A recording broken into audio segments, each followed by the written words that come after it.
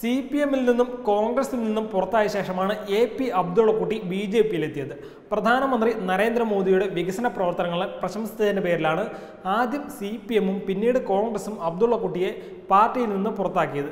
പക്ഷേ അബ്ദുള്ളക്കുട്ടി തന്റെ നിലപാട് മാറ്റിയിട്ടില്ല. ഇപ്പോൾ ബി ജെ പിയുടെ കരുത്തുറ്റ നേതാവാണ് എ പി അബ്ദുള്ളക്കുട്ടി എന്ന മുൻ കണ്ണൂർ എം പി.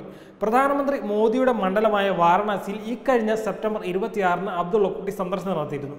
ഇതിനുശേഷം സന്ദർശനത്തിന്റെ ചിത്രങ്ങൾ സഹിതം അബ്ദുള്ളക്കുട്ടി ഫേസ്ബുക്കിൽ പങ്കുവച്ച വിവരണങ്ങൾ ഇപ്പോൾ ഫേസ്ബുക്കിൽ ശ്രദ്ധേയമാവുകയാണ്.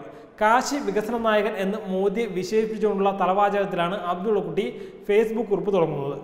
സുഹൃത്തും ബി ജെ പി പ്രാദേശിക നേതാവുമായ സന്ദീപ് സിംഗിന്റെ ഫാർമസി കോളേജിൽ ലോക ഫാർമസിസ്റ്റ് ദിന പരിപാടിയിൽ അതിഥിയായിട്ടാണ് താൻ ചെന്നതെന്നും അബ്ദുള്ള കുട്ടിയുടെ കുറിപ്പിലുണ്ട്.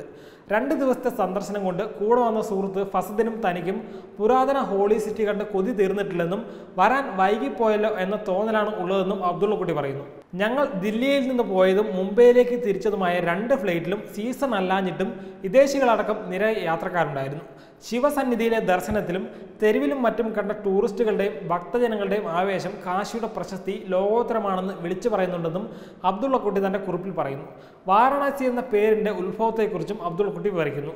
വരുണ അസി നദികൾക്കിടയിലായതുകൊണ്ടാവും വാരണാസി എന്ന പേര് ഈ നാടിന് വന്നത്രേ മോദിജി എം പി ആയതോടെയാണ് പഴയ നഗരം സ്മാർട്ടായതെന്നും രൂപവും ഭാവവും മാറിയത് കഴിഞ്ഞ നാലര കൊല്ലത്തിനിടയിലാണെങ്കിൽ എ പി അബ്ദുള്ളക്കുട്ടി പറയുന്നു. വാരണാസിയിലെ വികസന പ്രവർത്തനങ്ങളെക്കുറിച്ചാണ് പിന്നെ അബ്ദുള്ള കുട്ടി വിശദീകരിക്കുന്നത്. മുപ്പത്തിനാല് റോഡുകൾ റിപ്പയർ ചെയ്ത് പഴയ കെട്ടിടങ്ങൾ പൊളിച്ചു നീക്കി മിക്ക റോഡുകളും വീതി കൂട്ടി ഡിവൈഡർ ഉണ്ടാക്കി. ഹെറിറ്റേജ് സ്ട്രീറ്റ് ലൈറ്റ്സ് പിന്നെ ഇലക്ട്രിക്കൽ ലൈനുകൾ പരമാവധി അണ്ടർലൈൻ ആക്കി. രണ്ട് സ്ഥലത്തായി അഞ്ച് കിലോമീറ്റർ ഫ്ലൈ ഓവറുകൾ പടുത്തു തന്നെയും കൂടെ ഉണ്ടായിരുന്ന സാധനയും ഈ വികസന പ്രവർത്തനങ്ങൾ അത്ഭുതപ്പെടുത്തി എന്നും അബ്ദുള്ള അബ്ദുള്ളക്കുട്ടി ഫേസ്ബുക്കിൽ കുറിച്ചു. മാലിന്യമുക്തമാക്കി വാരണാസി ഇന്ന് സുന്ദരിയായിരിക്കുന്നുവെന്നും അബ്ദുള്ളക്കുട്ടി പറയുന്നു.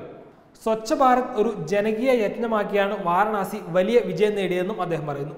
നഗര ചുമരുകളിൽ ഉൾപ്പെടെ പ്രശസ്ത പ്രാദേശിക കലാകാരന്മാർ ചേർന്ന് വരച്ച പെയിന്റിങ്ങുകൾ വരെ പ്രധാനമന്ത്രി നേരിട്ട് മോണിറ്റർ ചെയ്ത് ഉറപ്പുവരുത്തുന്നതാണ് എന്നറിഞ്ഞപ്പോൾ ആ വികസന നായകനോട് മതിപ്പ് വർദ്ധിച്ചെന്ന് എ പി അബ്ദുള്ളക്കുട്ടി പറയുന്നു.